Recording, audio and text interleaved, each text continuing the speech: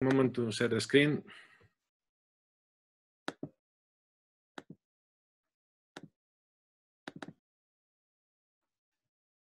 You can see my screen?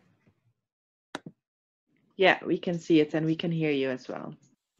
Okay, welcome everybody to this uh, final conference. Um, uh, I would like to speak about uh, some practical guides that uh, we, it's part of all the dissemination package um, that is uh, coordinated by, from, uh, by Aqua TT. One of the products of Parafish Control is to have practical manuals for fish farmers so to combine this information in order to have um, some quick guide that they can visit on the on their farm to have an overview. Uh, my role in the in the parafish control is um, leading the industry forum, and uh, it is um, this is one of the products for dissemination of the information that scientists produced from the project to uh, to the public and to the industry. So we are aiming to have uh, four different uh, guides, one for salmonids, one for gilt, uh, for sea bream and sea bass, one for turbot uh, and one for common carp. I just want to mention the names of the people behind, the scientists behind, the colleagues that are working on each, each one of the side of the guides, uh, Buchmann, uh, Braun, Dalvin, Ober, Overgaard, and Ventramin are working on the Salmonis one.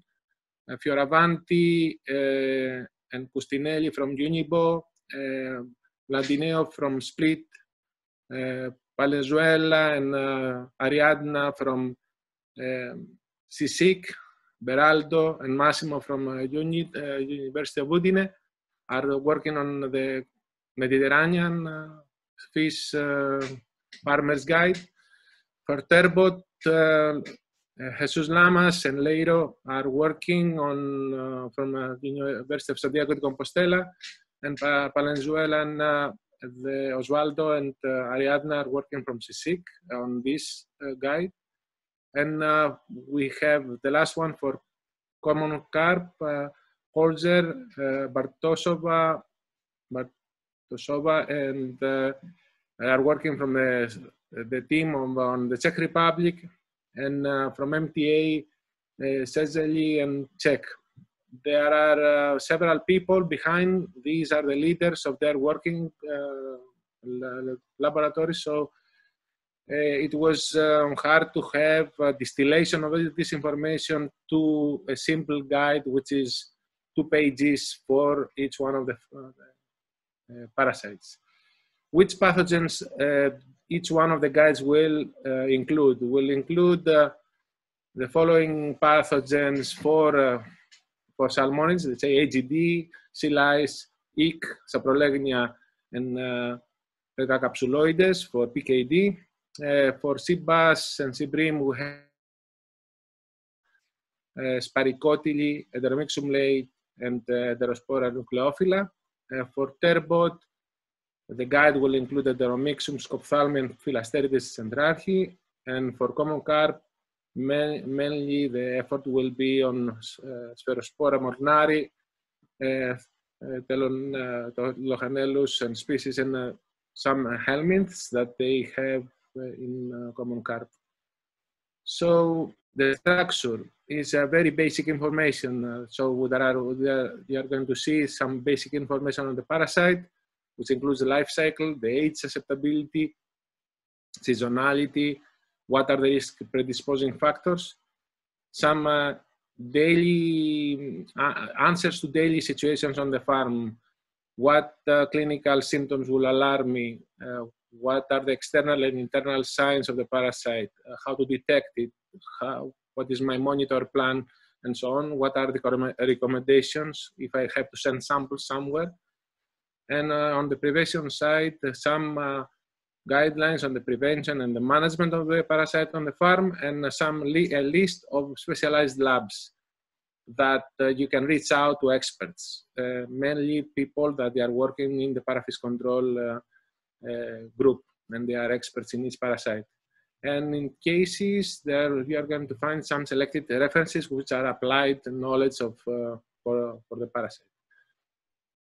So the Salmonid guides, which is uh, ready, uh, the guides for Salmonid fish farmers is uh, ready as a PDF format and uh, the other uh, guides are, are still in progress and were, be, were going to be submitted um, by the end of the project, which is in one month. And uh, the, the idea is that uh, every guide will be available in the website of Parafish Control and will be hosted. It will be available to download for the people, for farmers everywhere in the world. So this is the page of the authors uh, for uh, the uh, Salmonid guides.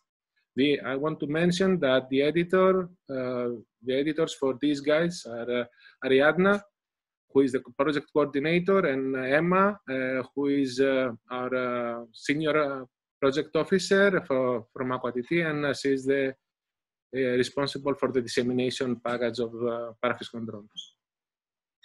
So just to give you some examples uh, for a couple of parasites and how the guide looks like. In, for, um, for sea lice, you are going to see a diagram of uh, the, sea, the sea lice biological cycle where the female uh, uh parasite releases 11 sets of strings and uh, then there are the free swimming planktonic and nauplius stages and the copepodid uh, stage which is in the infective stage and then um, Laos uh, passes through se several molting and uh, goes uh, from pre-adult to adult phases. So apart from this, which will be a diagram with simple explanation of the cycle, there will be clinical, um, let's say, uh, a review of the clinical signs, um, where the CILA is mainly graze upon the tissue, on the tissues uh, in the, uh, the on the head of the fish, the dorsal and adipose fins.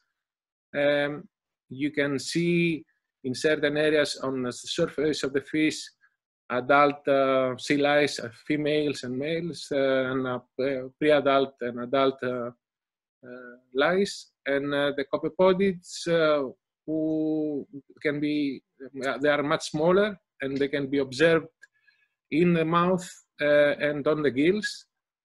And um, there are uh, the general uh, issue depends on the how how much load of parasite exists on the fish, but mainly they cause uh, no internal lesions, uh, only external lesions like epidermal erosion, ulceration, and hemorrhage.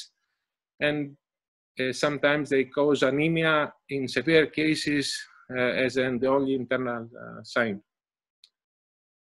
Um, sorry. The next one, um, the next session, uh, section of the guide is how to detect. Uh, the, there are mentioned, uh, the, the expert mentioned the weekly monitoring plan of 20, at least 20 fish, uh, and uh, what are the different uh, thresholds that people take action in different countries, like in Norway, in the spring, only 0.2 adult female eyes per fish are allowed, while in the uh, rest of the year only 0.5 adult female lice are allowed. In Scotland, um, up uh, when you reach three adult female lice per fish, then you have to have a surveillance, increased surveillance in the farm, and uh, you have to follow four weeks um, uh, of surveillance and mitigated actions and uh, you should uh, always keep uh, the load be below eight adult female lice. And the contact, the contact laboratories, of course, is the Sea Lice Research Center in Bergen, University of Bergen in Norway, the Institute of Aquaculture in Stirling, and uh, the, the, Laboratory of Aquatic Pathobiology in the University of, of Copenhagen in Denmark. So the action there are several actions uh, uh, that people uh, take into account. Prevention, the use of mechanical ways to either they lower the fish in the deep water to feed to feed the fish because the lice is concentrated on the top, of the surface, the first meters. Uh, they use different uh, skirts and other types of cages. They have specific coordinated production zones and following synchronized fallowing and treatments as a strategy. So in a special, each uh, loch has, or uh, each fjord has a special planning, uh, an action plan for this. In terms of treatment, there are the medical treatments, which is uh, the parasitic chemotherapeutants, either in bath uh, or in feed. Uh, but the recent trend is that the, pe- people are, the industry goes from the medical to non-medical treatment. So either they employ cleaner fish or they employ different systems like ultrasound, vacuum, or freshwater treatments, or uh, delousing, mechanical delousing by flushing and spraying, uh, and thermal treatments uh, to have the water uh, warmer so they can delouse the fish more effectively without using chemicals.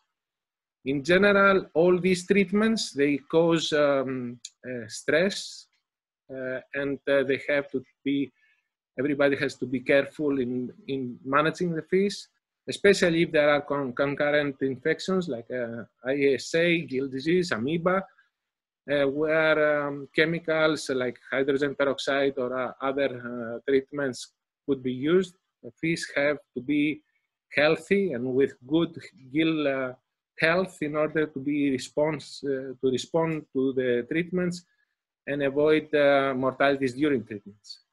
So in parafish control, especially uh, adapted from uh, a publication that was a product of parafish control, um, where you can see it in the lower bottom uh, screen here, uh, Sitjà-Bobadilla and Oidtmann, 2017. There is a toolbox uh, that was in, in, uh, described in this publication as a part of parafish control, where all the management procedures, the immunological strategies, the monitoring guidelines, biological control, physical control, chemical control are incorporated uh, in order to have uh, in one uh, picture all the two as a toolbox how people should uh, be able to manage the, the sea lice. So in terms of um, uh, AGD, to go to the another parasite, you see, you're going to see in the, in the guide how the parasite looks like, what are the lesions and how are the lesions in surface and the seasonality of the parasites of the AGD more than 12 degrees and um, Celsius at, usually more severe uh, above 15 degrees. It affects all sides, all sizes and ages. And the risk factor here is the high salinity and uh, poor gill, uh, um, let's say, health, uh, especially from concurrent uh, jellyfish worms, algal blooms, or other gill diseases.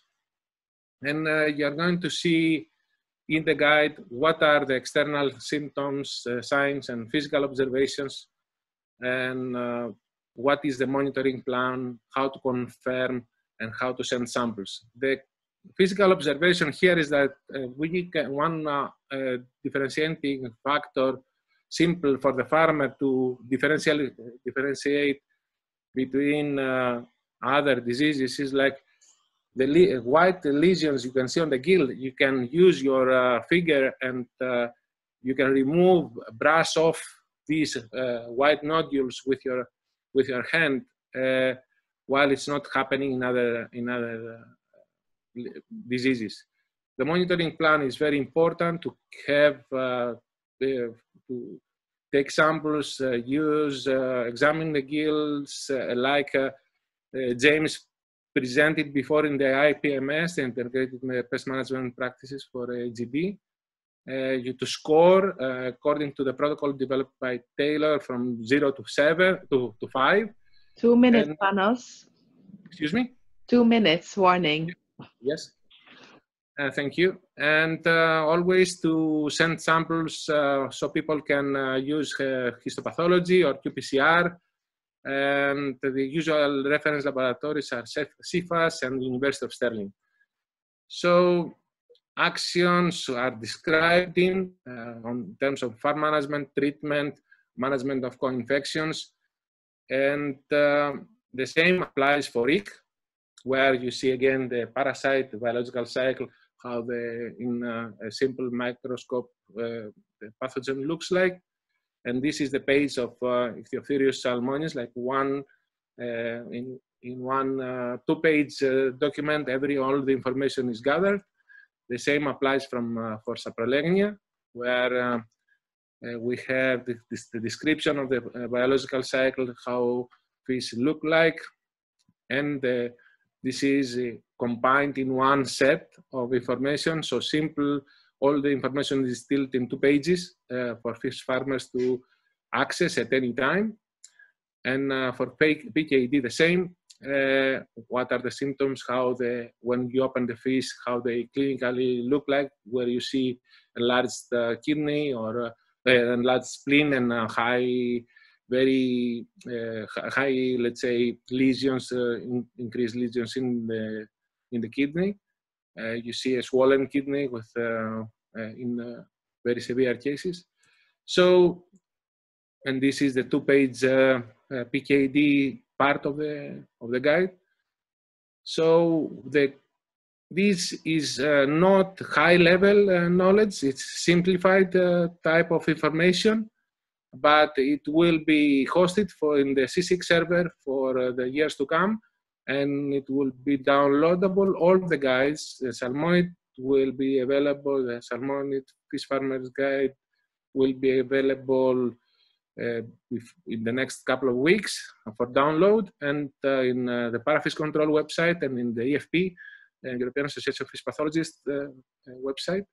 So we believe that this information is missing, was missing, and now uh, people will have for the three, for the four different species, uh, Mediterranean species, sea bass and sea bream, Salmonids, uh, uh, turbot, and carp, will have uh, some tools to be utilized in uh, each farm.